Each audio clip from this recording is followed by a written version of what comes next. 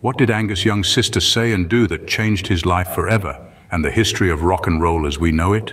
In 1973, Angus was just 18 when he and his brother Malcolm formed ACDC.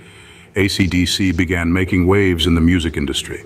Angus Young's stage presence is iconic. His sister Margaret played a significant role in shaping his signature look. Angus experimented with various stage costumes, including Spider-Man and Zorro, but it was Margaret who suggested the iconic schoolboy uniform and used her sewing machine to make one for him, a look that would become his trademark. The band name ACDC was also suggested by his sister Margaret. She saw the letters ACDC on the back of her sewing machine and thought it would make a great name for the band. This name would go on to become synonymous with rock and roll greatness.